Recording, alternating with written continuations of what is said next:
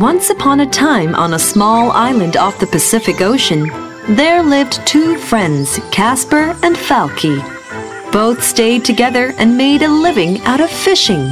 The world had never seen such truer friends. Hey, Casper, the sun is almost up. Wake up!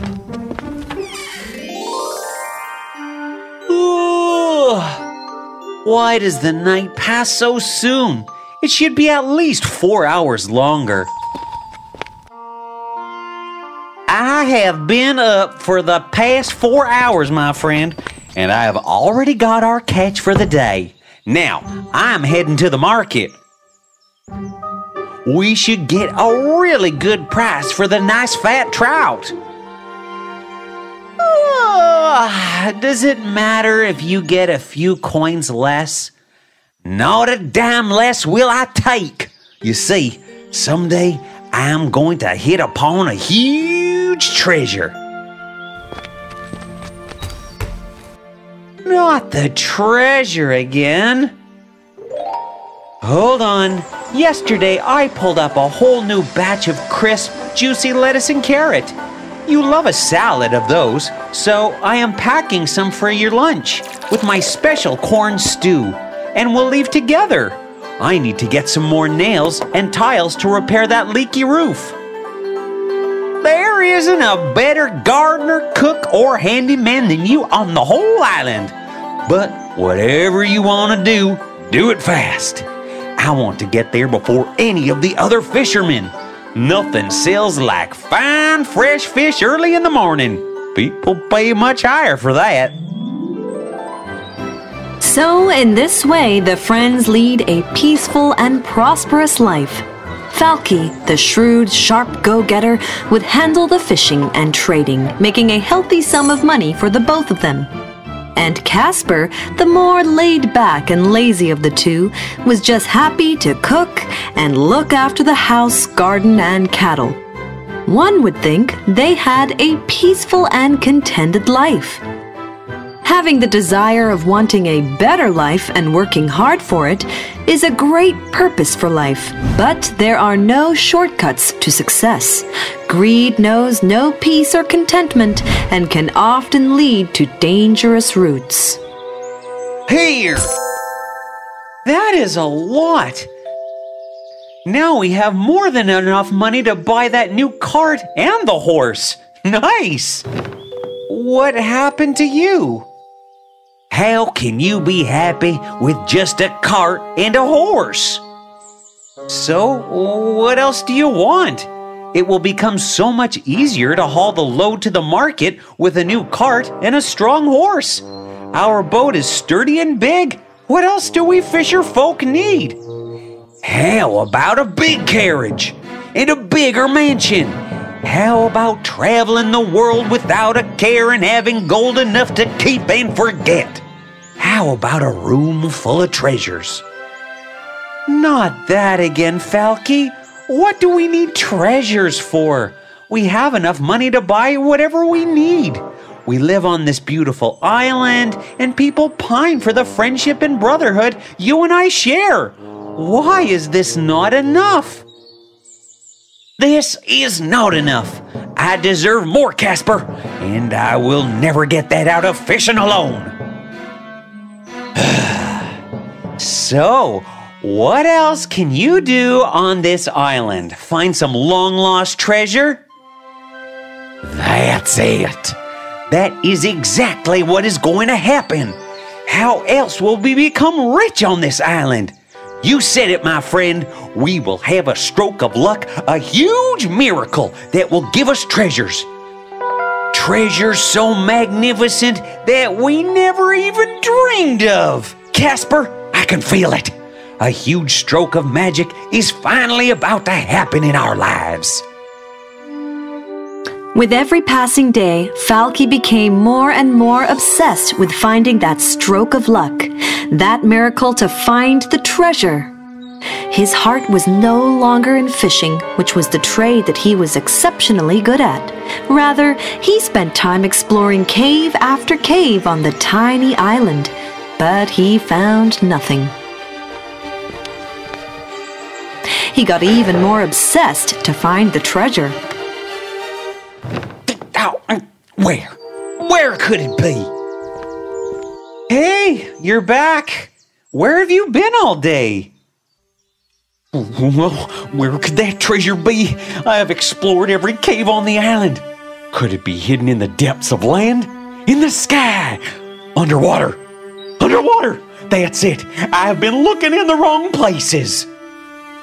What are you talking about, Falky?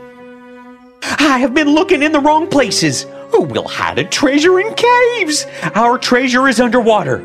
Maybe in a ship, wrecked and sunk under the sea centuries ago. And all the gold, all the treasure is still there, somewhere under the sea. I am sure of it. Not the treasure again, Falky.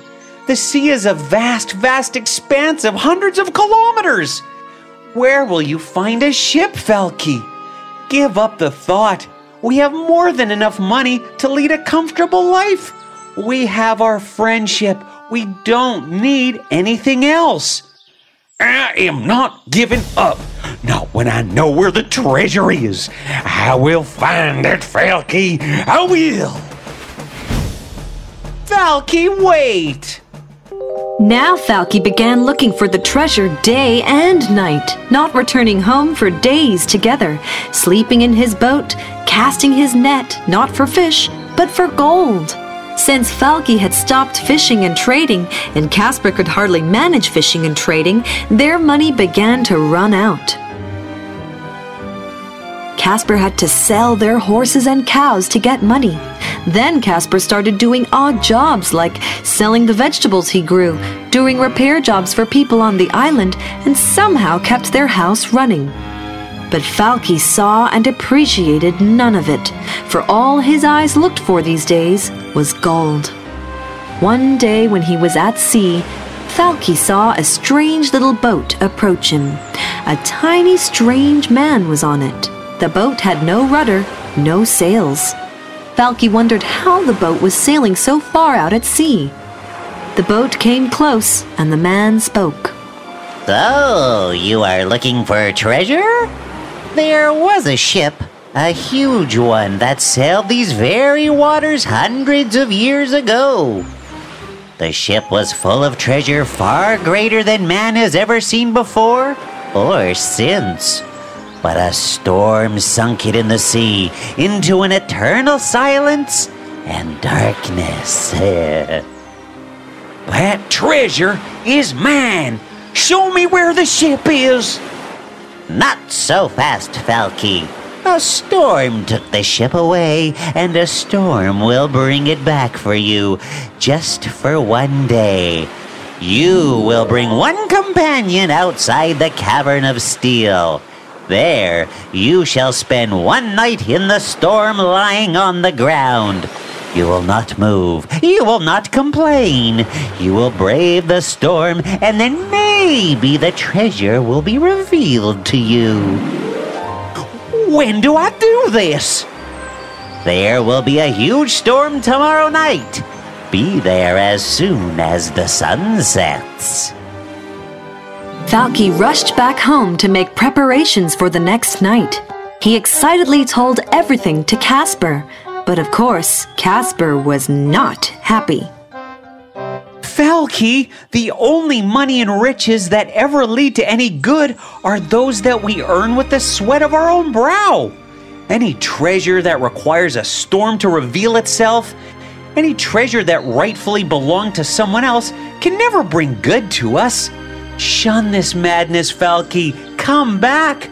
You are still the best fisherman and the shrewdest trader on the island.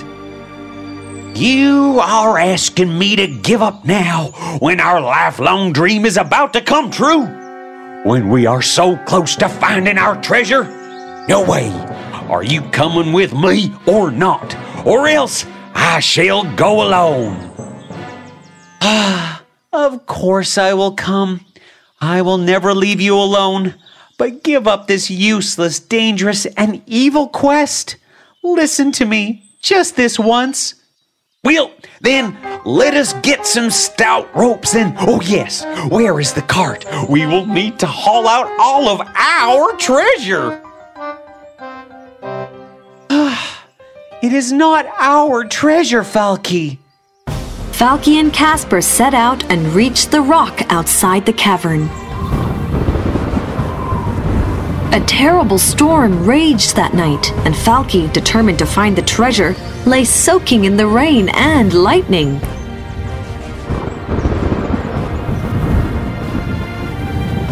Casper kept entreating him to give up the madness, but Falky didn't listen at all. By daybreak, Falky was shivering with the cold. The storm abated, and Falky saw a huge procession of strange people walking as though in a cloud of mist.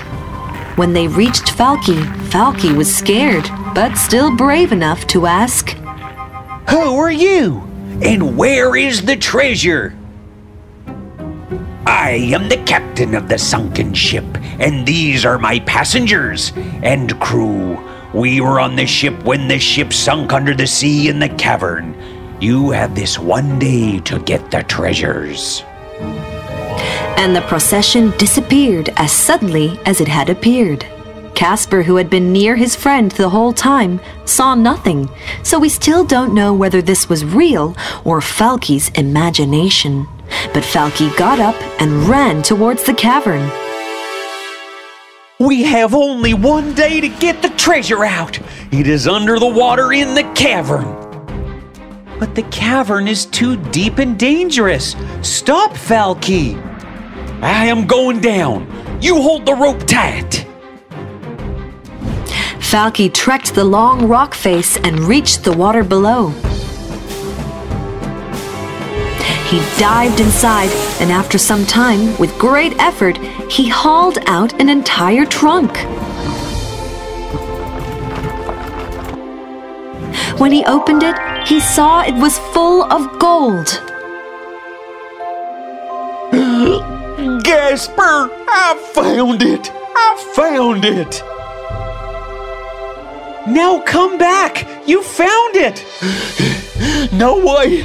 There must be so much more! Think of all the treasures that lay beneath the surface! We have an entire day, Casper, to get it out! I'm diving in again! Falky, do not put your life in danger for a shortcut to success, my brother! We will work hard and together make your dreams come true! And that was the last that was heard of Falky. Casper climbed down the cavern to look for his friend for three continuous days, but Falky could not be found. Casper was so heartbroken to lose his greatest treasure, his friend, that he did not even think of the casket of gold which Falky had claimed to have found. But Casper's struggles of the days gone by had taught him to rely on himself. He was no longer the lazy man he had once been. His farming and trade of repairing homes and furniture earned him a good living. A few years later, Casper got married and lived happily with his family, but his heart ached for his best friend Falky. Not only because he was lost, but because Falky had given up the magnificent treasures of friendship and trade that they had only for his greed. What I have learned from my life is be happy with who you are and make the best of it. Value what you have now. Love, family, friendships are the real treasures of life. Of course, you can have dreams for a happier, wealthier life, but fulfill them only with the magic of your talents and hard work. The world is abundant enough to fulfill everyone's dreams, but not big enough for a single person's greed.